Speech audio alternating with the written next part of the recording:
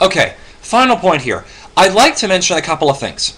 One of which, evolution is a falsifiable claim which has effectively been proven by repeatable experiments for the better part of 100 years. So there's not really any point to uh, disprove that. Um, secondly, to the atheist contingent, uh, I know I'm making this argument from Scripture, but theoretically speaking, if quantum gravity was proven um, and string theory was not, um, there could be um, evidence for uh, there could be evidence for the existence of God. But I'm not going to get into that right now. Um, again, it's just a hypothetical thought experiment. We'll deal with that later. Um, thirdly, uh, all sources for all this info sources for all this info can be found online.